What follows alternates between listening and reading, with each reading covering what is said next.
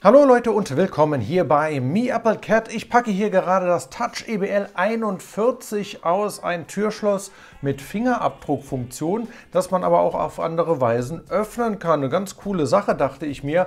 Probieren wir mal aus. Ein smartes Türschloss, das man echt mit Fingerabdruck öffnen kann. Man kann es mit einer Smartphone-App öffnen, mit einer RFID-Chipkarte und mit einem Notentriegelungsmechanismus, den es dann eben auch noch gibt. Also klingt doch eigentlich ziemlich cool, ob es so ist und wie einfach sich das Ganze einrichten lässt in der App mit dem Einbau, ob es ordentlich funktioniert und und und.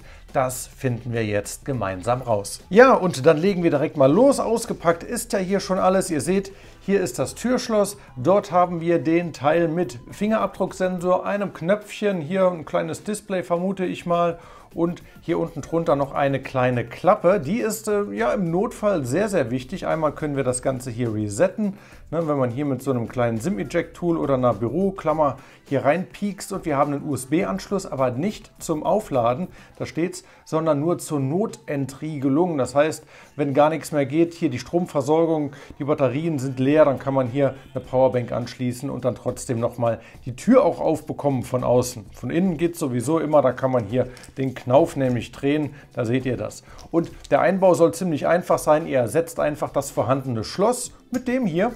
Fertig ist die Laube. Keine Kabel verlegen, kein gar nichts, einfach Einfach, ja, einfach, einfach. So kann man das sagen. Geht für Breiten zwischen 50 und 100 mm. Das kann man nämlich einstellen, habe ich mir eben schon mal angeschaut. Einfach hier mit dem Imbus mal kurz hier ein kleines Schräubchen lösen und dann kann man, wenn es locker genug ist, hier die verschiedenen Breiten einstellen.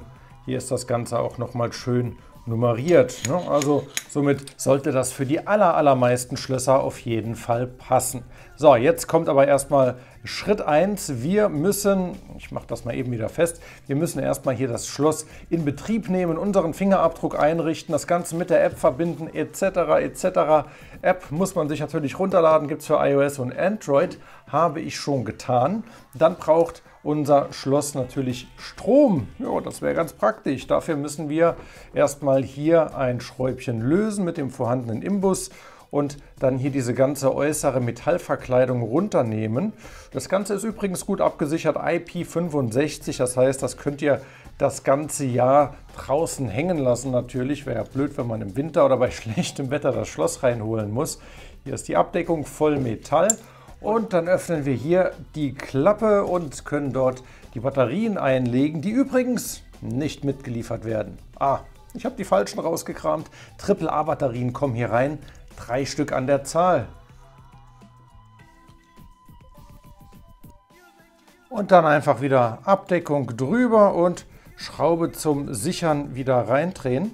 Jawohl, und da bekommen wir hier auch ein Lebenszeichen. Da könnt ihr es sehen. Also hier ist immer der Aktivierungsknopf und da haben wir auf dem Display dann so eine kleine Anzeige nochmal drauf, inklusive Akkustandsanzeige. Übrigens, ihr werdet hier benachrichtigt über die App, wenn der Akkustand unter 20% fällt, dass man doch mal am besten die Akkus, oder es sind ja leider keine Akkus, ihr könnt Akkus reinpacken, die Batterien austauscht. So, also Strom hätten wir, dann gehen wir mal zur App. Ich habe mir die schon runtergeladen. Das ist hier diese WeLock-App. Dann öffnen wir die einfach mal. Da muss man sich kurz anmelden und dann kann man loslegen. Wir fügen jetzt hier ein neues Gerät hinzu. WeLock hinzufügen und müssen dafür den QR-Code, der hier drauf ist, einmal scannen. So, einmal bestätigen, Kamera erlauben, dranhalten, zack. Einige Modelle der Lockcore ID werden ebenfalls an der Box angebracht. Ähm, hm, hm, hm.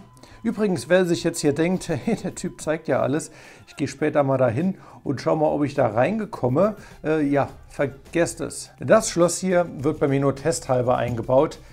Da habe ich schon jemand anderen, der sich hiermit dann später beglücken wird an seiner Tür. Also ähm, deswegen kann ich hier alles zeigen. Keiner weiß nachher, wo das Ding wirklich landet bei mir zu Hause, nämlich nicht. So, jetzt haben wir das Schloss hier hinzugefügt. Gehen wir mal da hin und keine weiteren Funktionen. Tut sich da schon irgendwas? Ah, jetzt ist es verbunden. Cool. Und jetzt kann ich hier auch schon einen Vorgang vornehmen. Ich drehe das mal ein bisschen, dass man das gleich sieht. So, wir schließen jetzt einfach mal. Das dauert einen Moment, erfolgreich verbunden und da ist es entsperrt. Genau, so ist das Ganze jetzt wieder gesperrt. Also so kann man das schon mal hier über die App steuern. Dann gibt es ja noch die Möglichkeit, das mit diesen RFID-Karten zu machen. Drei Stück werden mitgeliefert.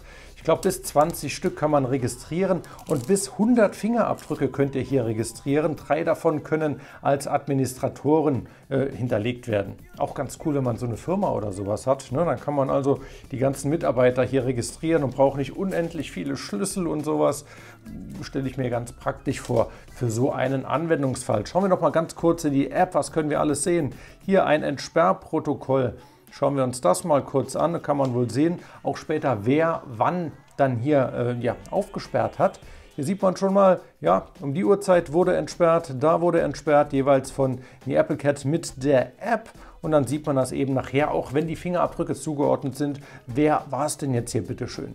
So, wir können da noch so ein paar verschiedene Dinge machen. Machen wir hier mal Karte hinzufügen. Und zwar unbefristet. Ihr könnt auch befristet so eine Karte hinzufügen. Auch sehr schön. Der Praktikant kommt vorbei für eine Woche, dann kriegt er so ein Kärtchen hier und danach klappt das mit dem Kärtchen nicht mehr, auch wenn er vergisst, das Teil dann vielleicht abzugeben. So, wir müssen nochmal den Code scannen, dann der jeweiligen Karte. Wird verbunden. Sehr schön. Nicht mal ausgepackt. Karte wurde hinzugefügt. Das äh, geht echt einfach, das gefällt mir gut. Und dann äh, ja, schauen wir doch mal, ich weiß gar nicht, wo ich die hinhalten muss. Einfach so dran halten, funktioniert nicht. Man muss jedes Mal hier das Knöpfchen drücken, direkt unterm Scanner, unterm Fingerabdruckleser zum Aktivieren. Dann halte ich mal die Karte dran und es steht dort Unlocked Turn Handle. Wunderbar. So funktioniert Das war easy. Jetzt kommt aber hier das, weswegen wir alle eigentlich da sind, der Fingerabdruck und den kann ich auch irgendwo hier, glaube ich, hinzufügen. Ah ja, wer lesen kann, ist klar im Vorteil. Hier steht Administrator Fingerabdruck registrieren. Also das mache ich jetzt nochmal vor dem Einbau. Also die Taste hier 5 Sekunden lang drücken. 1, 2, 3, 4, 5. So, Administrator. Ich lege mal hier auf. Und jetzt soll ich den Finger noch ein bisschen bewegen. Hier steht immer Move Finger. So, New User Admin 1. Ja, das wäre dann ich. Ne? So, was das? Das wäre ja einfach gewesen. Mal schauen, ob er mich auch schon erkennt. Also wenn ich jetzt ankomme, einfach Knöpfchen drücken, Fingerabdruck drauf und da steht Unlocked Turn Handle. Cool, das war einfach. Das war echt einfach hoffen wir, dass der Einbau genauso leicht funktioniert. So ein bisschen Werkzeug haben wir ja auch hier schon mitgeliefert. Ihr seht einmal, ach, guck mal hier, da ist ja sogar was zum Resetten, so eine kleine Nadel mit dabei. Hier nochmal ein kleiner Kreuz, Kreuzschritz, Kreuzschlitz, Wortfindungsstörungen, Schraubendreher, aber ich mache das doch lieber mit dem Akkuschrauber. Also, jetzt geht's an den Einbau.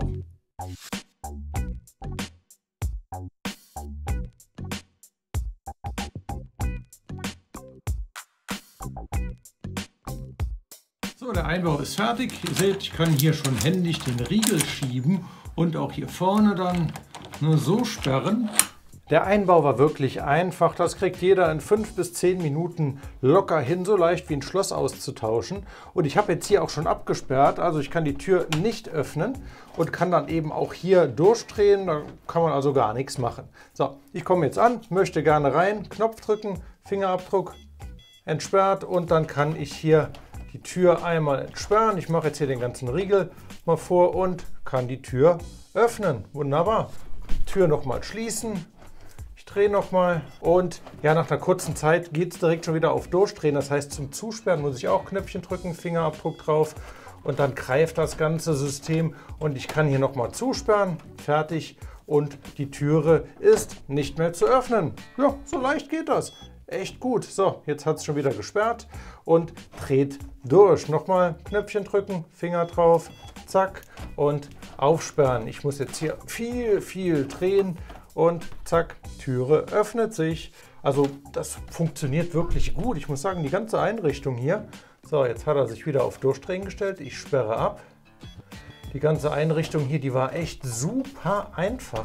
Also da gibt es nichts dran zu meckern.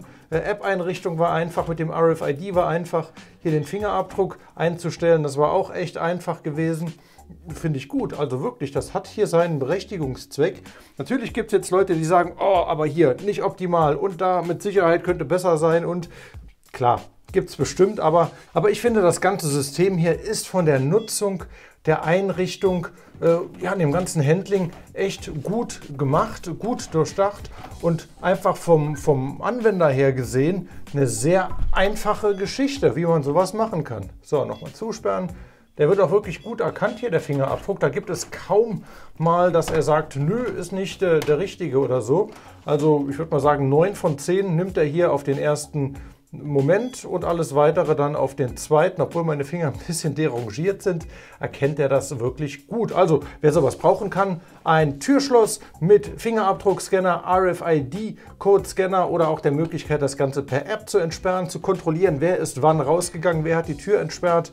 Äh, ja, also da gibt es schon viele Einsatzzwecke. Denkt euch die mal selbst aus. Ihr wisst, wofür ihr das brauchen könnt und ich verlinke euch das Schloss hier unter dem Video in der Videobeschreibung. Kostet gerade mal, ich finde gar nicht mal so teure, 139 Euro im Moment. Das kann man machen für so eine coole Funktion. Noch schöner wäre es natürlich, man könnte das hier irgendwie aufladen, aber naja, man kann nicht immer alles haben im Leben. Also, das wäre es gewesen. Ich sperre zu und sage vielen Dank fürs Zusehen und bis zum nächsten Mal hier bei Mi Applecat. Macht's gut!